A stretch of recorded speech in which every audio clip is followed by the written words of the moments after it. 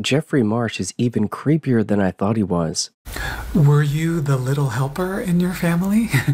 Dude, no, I wasn't. And why are you always talking about childhood? Could this be any creepier? You're very mature for your age is an insult.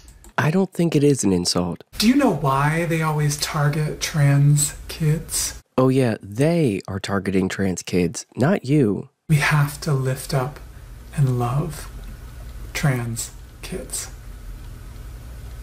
Yeah, we can see that you want to do that. It's good for children to see LGBTQ lives and LGBTQ people. And it's not just good, it's wonderful.